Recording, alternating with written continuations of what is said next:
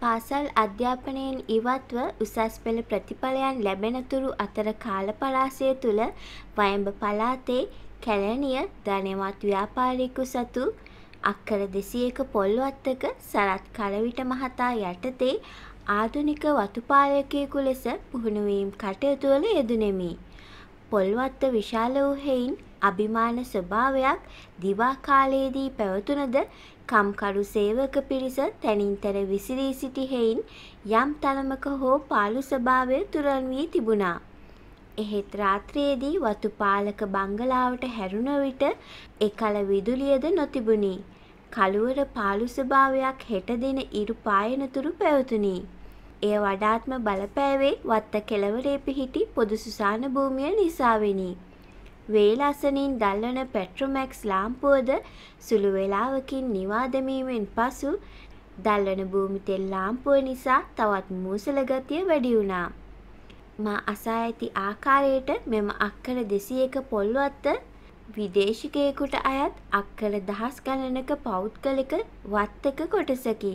කාලයාගේ ඇවෑමෙන් මෙන්ම මගේ කතාවට අයත් අක්කර දෙසීය තරුණ සුපිරින්ටන් මහත්මයෙකුගේ පාලනය යටතට තිබුණ බව තමයි පාරම්පරිකව වත්තේ සේවය කරන කම්කරුවන් කියන්නේ. මෙයට වසර පනහකට පෙර මෙම පාලන නිවසේ ඉවුම් පිහුම් කටයුතු සිදුවූයේ වත්තේම සේවයට පැමිණි ඩිංගිරි මැණිකා නම් වූ රූමත් තරුණ කාන්තාවක් අතින් බව ජනමතයේ ඇත. එම තරුණිය සමග දඟකාර විදේශීය තරුණ වතුපාලක ආදර සම්බන්ධයක් ඇති කරගෙන තිබුණා. කාලයාගේ ඇවෑමෙන් ඇය වතු පාලකයාගේ අනියම් බිරිඳ ලෙසින් ඔහුගේ සියලුම අවශ්‍යතාවයන් ඉටු කිරීමට පටන් ගත්තා. ප්‍රසිද්ධ රහසක් ලෙසින් පැවතුන එම පලහිලව්වේ අවසානය හොර රහසේම සුද්දාට දාව ඇය ගැබිනියක් වීමයි. දුප්පත් මැනිකා විදේශීය වතුපාලකයාගේ රැවටීමට ලක්වූවා. එපමණක් නොවෙයි වත්තේ අයිතිකාර සුදු පියා ප්‍රශ්න විසඳුවේ පුතාව කොළඹ ගෙන ගොස් ඩිංගිරි මැණිකාට පවුම් පණහක් දී දරු කලලය පවුම් පණහකට මිල කර ඩිංගිරි මැණිකාව වත්තේ සේවයෙන් ඉවත් කර දැමීමයි. ගම්මුන්ගේ මතකයට අනුව දෙමෝපියන්ට මුහුණ දීමට ලැජ්ජාවෙන් දරු ගැබ සමගින් ඇය එක් දවසක් වත්ත කෙළවර සියඹලා ගසක ගෙල වැළදාගෙන මිය ගොස් සිටි බව තමයි ගම්වාසීන් කියන්නේ. මව ගෙල වැළලාගෙන මිය ගියාට පසුව කුස තුල සිටි දරුවාද මිය ගොස් ඇති බව තමයි හදිසි මරණ පරීක්ෂණයේදී තීරණය වී තිබුණේ. ඩිංගිරි මැණිකා ගෙල වැළදාගෙන මිය ගොස් තුන් මාසයකට පමණ පසු වතුපාලක බංගලාව දෙසින් මැදියම් රැයේ කාන්තාවකගේ විලාප හඬක් ඇසුන බව ඇතැම් ගැමියන් අතර ප්‍රචලිත වී තිබුණා. ඇතැම් අවස්ථාවක බංගලාවේ මුල්තැන්ගේ තුළින් දෙදෙනෙකුගේ ආදරයෙන් කතාබහ කරන හඬද ඇසුණු බවයි බංගලාවේ මුරකරු ලෙස සේවය කළ මර්තේලිස් පවසා තිබුණේ. ඇතැම් විටක වලන් හට්ටිමුට්ටි පොලේ ගසන හඬද ඇසුණු බවයි ඔහු පවසා සිටින්නේ.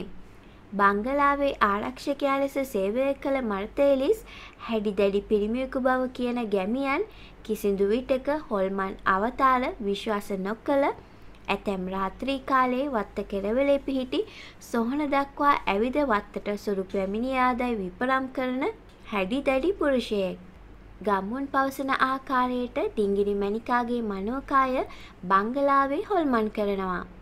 මරතේලිස් සමග වත්ත කෙළවරේදී ඇය කතා කළ බවද ඔවුන් පවසනවා.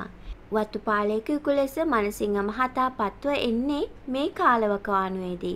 මනසිංහ මහතා දකුණේ අයකු වූ හෙයින් හොල්මන් අවතාර යන්ත්‍ර මන්ත්‍ර ආදී ගුප්ත බලවේගයන් එතරම් විශ්වාස නොකළේය. තරුණ වතුපාලකයාට කිසිදු විටක ඔහුගේ කාමරයේ තිබූ සයනයේ නිදා ගැනීමට ලැබී නැත. ඇතැම් දිනක විලිරුදාවෙන් කෙඳිරි ගාන ගැහැණු කටහඬකට ඔහු නින්දෙන් බිය වී ඇහැරුණු බව ඔහු සඳහන් කර තිබුණා.